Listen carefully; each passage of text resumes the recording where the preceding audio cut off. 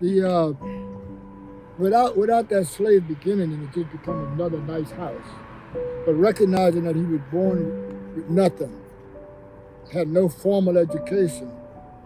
And by the time he passed away in 1941, we're told by the University of South Florida that he was worth well over half a million dollars. Wow. So he really, he really was the, the American dream that used to Yeah. be American dream. Yeah. In addition to uh, you know all the records that's in the courthouse that indicates how much property he owned, and, and records that he left behind, we were truly blessed to have one of his sons who was still alive until 2012. Wow. Very unusual. A man born before the Civil War had a son who was not his grandson, it was his son Wow. still alive. Robert uh, lived in New York.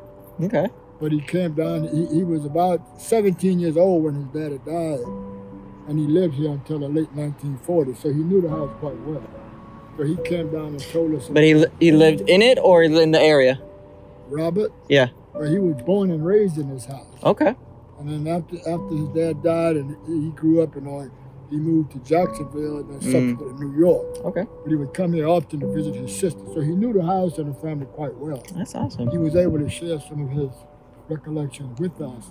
This is why we knew with all this stuff. Because I didn't know Mr. Brown. He died in 41. I was born in 42. Okay. Uh, but Robert was able to. He's an interesting person. He, as I say, he was born in 1856. Mr. Brown was one of seven children. He was a middle child, Mm-hmm. born near Gainesville, Archer, Florida. He and his wife had seven children. Wow. Those seven children produced one grandchild. Only one daughter had a son. Wow. That son died several years ago with no children. So that, that, that's the amazing thing. And Brown was a pretty big man. He was about six 6'4", Yeah. muscular. When he came here in the mid 1880s, by way of Gainesville area, there was nobody living in Polk County. Very, very few settlers. This was what was called the uh, frontier, Florida frontier. Mm-hmm. After the Native Americans had been out, there was almost nobody living south of Tampa. A lot of cattle, right? Cattle, scrub cattle, and so forth. Very few Indians and very few pioneers. It was just a frontier, open frontier.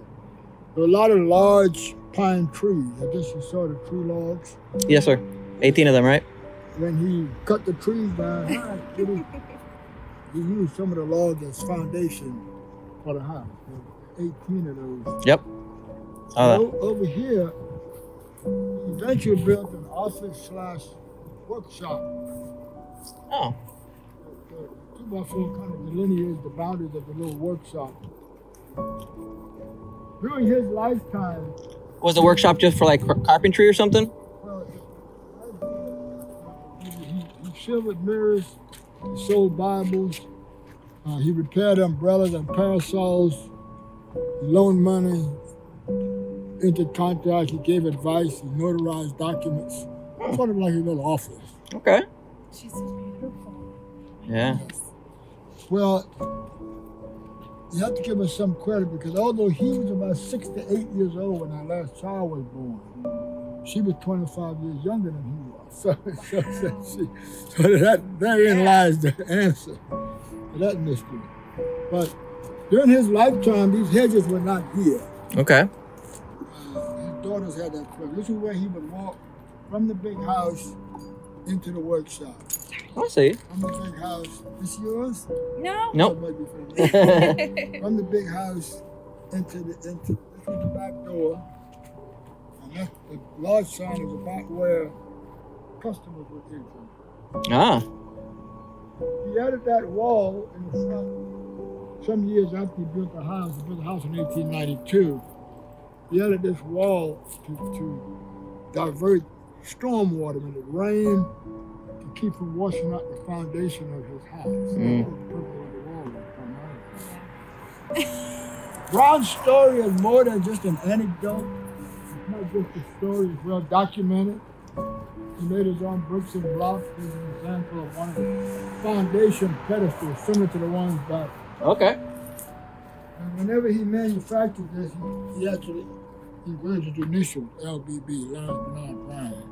Lawrence Bernard is his initials were? Okay.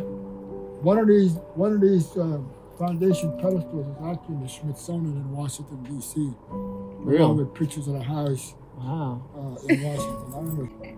When died in 1989, the last family member that lived here, the house became abandoned because there was no nieces and nephews in it. And so folks came in here and took a lot of antique furniture and so forth and so on. So a lot of the furniture, especially on the first floor, was acquired by us from antique stores based Okay. on what his son described I see. but most of the furniture on the second floor did belong to the Brown family. Folks didn't get a lot of that stuff. The. So they house only took the furniture downstairs. They only took the furniture downstairs. 'cause I guess that's what the easy, that was the low hanging fruit. Okay. so speak, you know. Okay. But in all fairness, the house was slated to be demolished because it was abandoned. And so people came in, I guess, thinking it was, you know, free for Free the for all. But uh, the house itself is our main artifact. This is what we. We know he built the house. This is the, okay?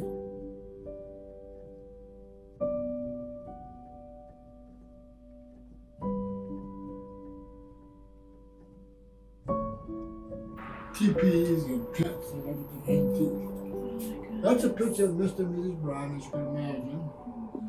Those were actually two separate photographs that we juxtaposed together because it appears that they were about the same age. They were not. He was considerably older than Yeah. them. Mm. All of the mirrors that are built into the wall were silvered by Mr. Brown. It was one of his trades, silvering mirrors. He was a silversmith. He was he was a typical old Florida pioneer. Okay. If there was an issue of supply and demand, he probably, he tried to provide that that request. He did. If there was a way to make money and save the community, he tried to do it. Keeping in mind there were no apartment stores in uh, the 1890s. Mhm. Yeah. This is the larger room.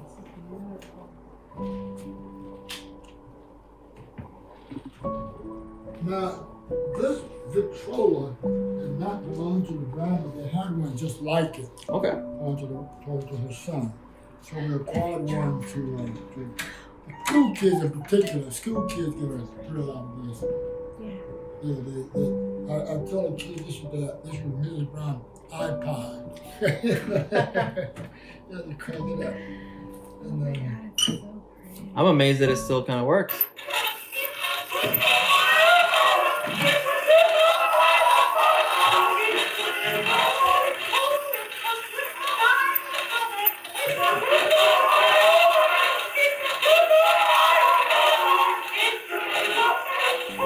Remember that old time religion.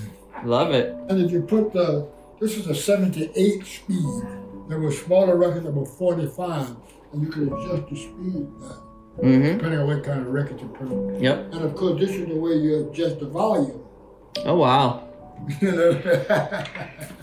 anyway, That was beautiful. this cut out on the wall. I had the contractors create these so that the visitors could see what the interior wall looked like. There are nine rooms in the house, all total nine rooms. Four of the rooms, the walls are plaster. Okay. And it- next door to that bathroom is a plastered wall. I want the school kids to see what that was. That's Picture here, obviously this is not Mr. Brown, this is Mr. Brown. But he was a friend of Mr. Brown, Longworth. And he, he too was born in slavery, but he was born in Georgia. reason I have his picture here is because whereas L.B. Brown built houses and became well-known, wealthy, Mr. Longworth was a cattleman. Oh. This is his branding name, Jackson C. Longworth.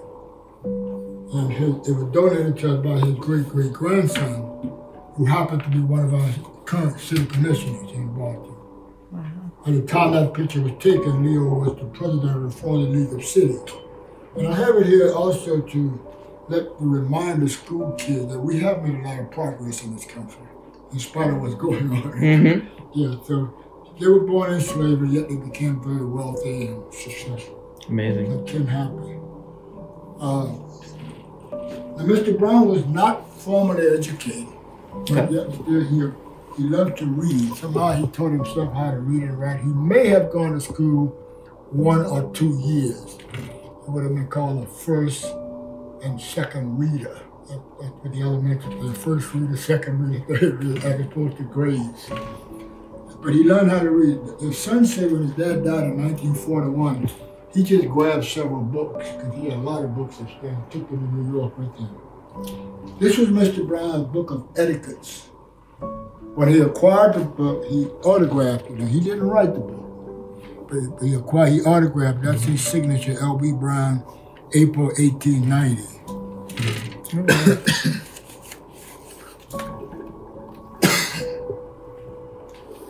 the other book is his Florida law book, Mm-hmm. book of law and banking regulation. There were you didn't have lawyers in every corner back then. You didn't even have corners. You know, you yeah. So he needed to know what the law said about things. So he had a law book. His son Robert, who died in 2012, eventually got a job on a railroad as a Pullman porter. That was Robert's Pullman porter cap. Wow. And right next to Robert's cap was Robert's um, union book. In the little book of how to be a Pullman porter, your duties and description of your job. Like the handbook. Yeah, handbook. And the, the, the union that Robert belonged to was called the Brotherhood of Sleeping Car Porters. It was very, very well known back in the 20s and 30s. This was a handle to one of his personal umbrellas, Oh, wow. made out of mother of pearl. Goes back to the 1890s entries, indicated the type of business he was doing, some of his thoughts and so forth. The book is so fragile we don't handle it, but what I did is made a few copies you might be interested in. Give you an idea of the kind of businessman he was. This was uh, in the book. There's a memorandum. This is Mr. Brown's handwriting. Oh. He never went to school. And, but you can see that he was not formally educated because he occasionally misspelled words Okay. with a phonetic spelling of father. Mm. Yes. Lawrence Brown's father name was Peter. He said, my father, Peter Brown's, and uneducated, he used an apostrophe. apostrophes. Father Peter Brown's last request before he died on June the 14th, 1885, nine something in the morning. That's when his dad took the last breath. Yeah.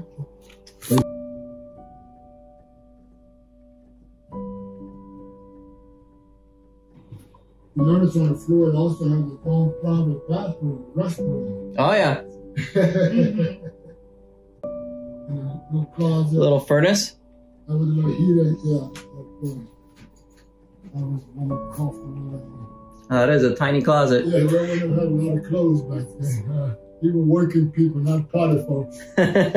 Working in church, probably.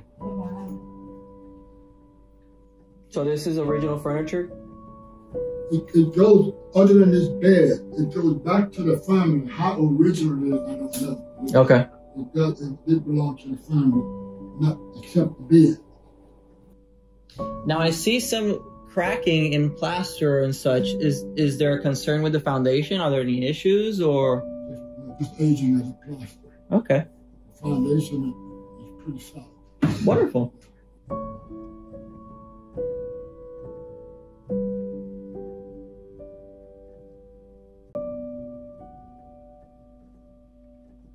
So would that have connected right here? Yeah, the smoke would have gone out of the chimney here. Okay.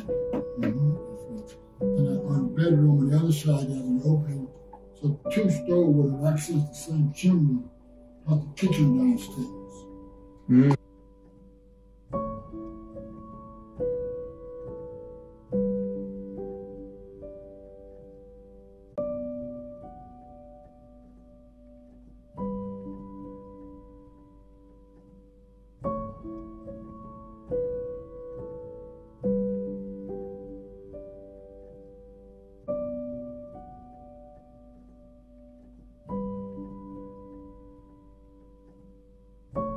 And of course, this uh, this is a, an ice book.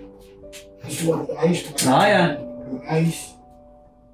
Some of the clients might hang something like this on the back door to let the iceman know how much ice they need. In this case, if you signally want 25 pounds of ice Oh, on the door. I used to deliver ice when I was about 12 years old in Louisiana and Florida. Is this just for like hanging plants or such? What is that? This is just to hold them in place. Okay.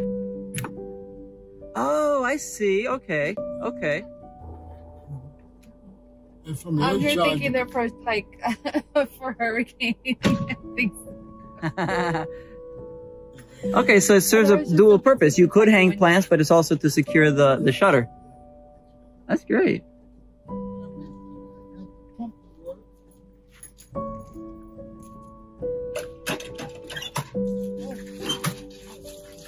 Nice. Huh? Oh, take your picture. pump the water. Keep in mind, your job is not just to fill this bucket. Your job is to fill that pipe. I'm not going to wash the clothes. Oh my